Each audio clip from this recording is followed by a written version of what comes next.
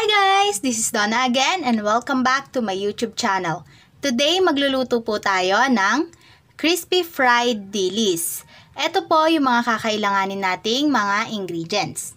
Gagamit po tayo dito ng flour, cornstarch, dilis, 1-4 lang po itong gagamitin kong dilis.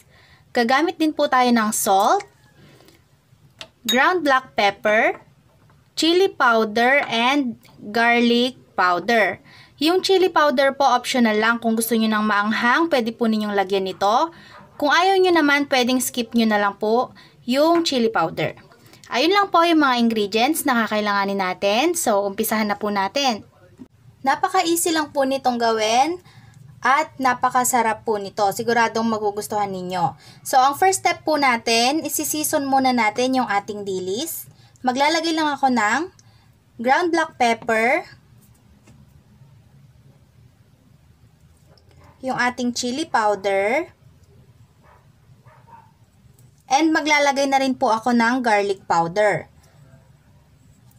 Maglalagay na rin po ako ng salt, and then mix lang po natin to.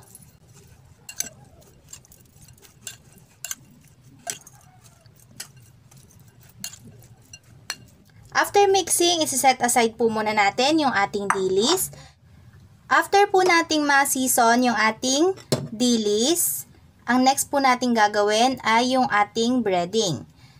First step, ilalagay ko na po yung ating harina or yung flour. Next ay yung ating cornstarch and salt. Maglalagay din po ako sa ating breading ng garlic powder at uh, ground black pepper and yung ating chili powder.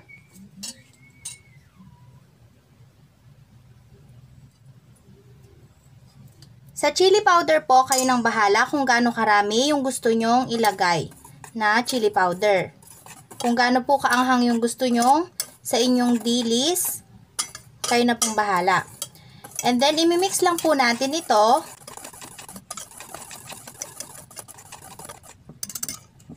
Kapag na-combine na po natin lahat ng mga nilagay nating ingredients, ang next step po natin ay ilalagay lang natin dito yung ating mga dilis.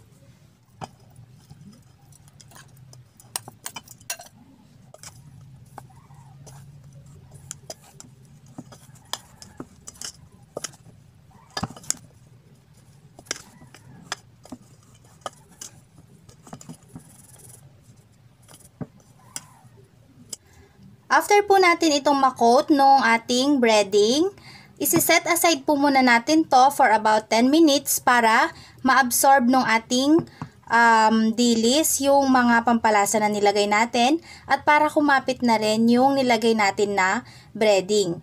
And then after 10 minutes, saka po natin siya ifa-fry.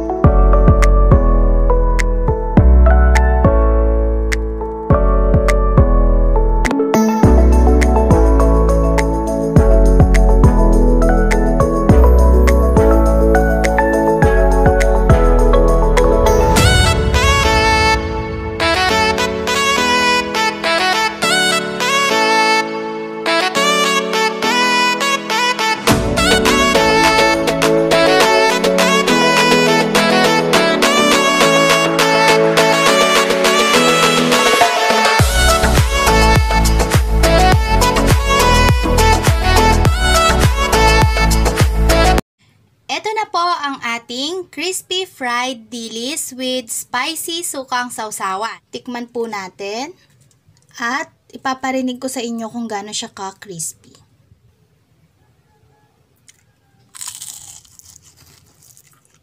Mmm! Sobrang crispy talaga niya. I-try naman natin siya with suka.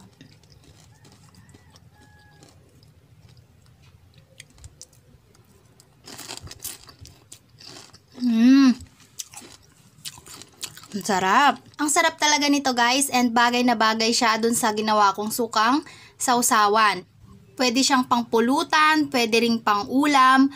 Perfect na perfect pong combination itong ating crispy fried dilis at yung ating sukang sausawan.